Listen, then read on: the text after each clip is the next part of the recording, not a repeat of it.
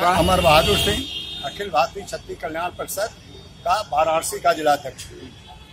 S C S T act का विरोध हम लोग इसलिए कर रहे हैं कि उसका सबसे ज़्यादा दुरुपयोग हो रहा है। हरिजन अपने लाभ के लिए, क्योंकि उसे धन मिलता है। वो फर्जी मुकदमा सवर्णों के खिलाफ या अन्य जातियों के खिलाफ लिखा रहा है।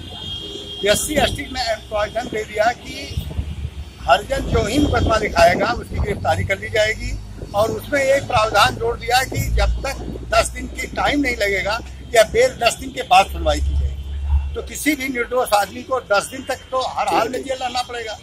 और एस सी एक्ट में अगर छह महीने बाद, तीन महीने बाद उसका निर्णय ये आया कि नहीं, मुकदमा फर्जी था तो वह वह जो है व्यक्ति तब तक तो जेल में रह गया। दूसरी चीज़, उसमें एक अमेंडमेंट ये कर दिया है कि अगर कोई पुलिस अधिकारी किसी एस सी एक्ट का मुकदमा नहीं लिखता है, गिरफ्तारी नहीं करता है, कार्रवाई नहीं करता है तो उसके भी खिलाफ मुकदमा चलेगा, उसकी भी सजा होगी।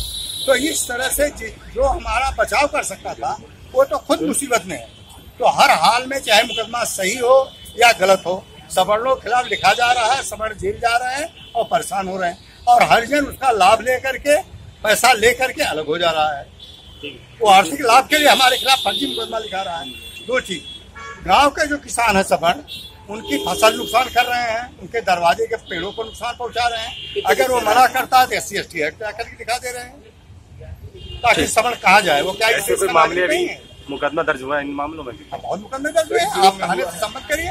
हर मुकदमे यहाँ तक कि मोटरसाइकिल से टक्कर हो गई तब तक मुकदमे दर्ज करा दिए हैं। सर क्या नाम है आपका और किन मांगों को लेकर यहाँ प्रदर्शन कर रहे हैं? मेरा नाम सूर्यबली सिंह है। मैं अखिल भारतीय क्षत्रिय कल्याण परिषद का प्रदेश अध्यक्ष हूँ। हम लोगों का दिनांक पाँच नौ 2018 से लगातार धरना चल रहा है यहाँ, वीर बहादुर पार्क में। और हम लोगों के पाँच मांगे हैं। पहली मांग ये है कि एस टी एक्ट में जो नया अध्यादेश सरकार ने जारी किया है, उसे तत्काल प्रभाव से समाप्त किया जाए। हमारी दूसरी मांग ये है कि जो प्रमोशन में आरक्षण लगाया गया है, उसे तत्काल समाप्त किया जाए।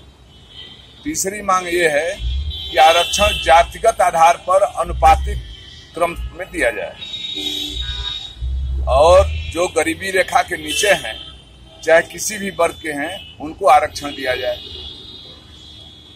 और मेन मांग हम लोगों की ये है कि अगर हमारे सवर्ण वर्ग के लोग के साथ अगर जाति हो रही है एस टी का मुकदमा कायम हो रहा है अगर वह मुकदमा जाँच में फर्जी निकलता है तो उसके विरुद्ध भी वही धारा में कार्रवाई की जाए जिस धारा का मुकदमा लिखाया गया।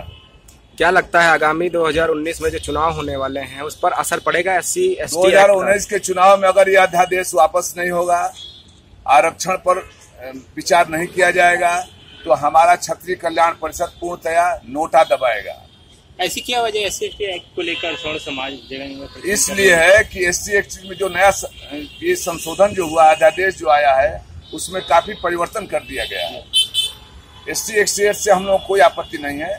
जो 89 का जो कानून बना हुआ है। जी बेसिकली वो एस टी कानून ये था कि दलितों पे जिस तरह से हम जानते हैं हाँ तो उसको हम लोग मानते हैं। जिस तरह के दलितों पे अत्याचार होता है। उनके हाँ, खिलाफ जो भी उसके प्रति उसके विरुद्ध या उसके विरुद्ध कार्रवाई करेगा उसके अपमान करेगा हाँ, उसके लिए आ, सजा दी जाएगी उसके एक्ट की ठीक हाँ, है। तो ज़्यादातर करके वजह यही है कि देखिए जो 89 में कानून बना एस टी का उस कानून के तहत हम लोग तैयार हैं उस कानून को माने।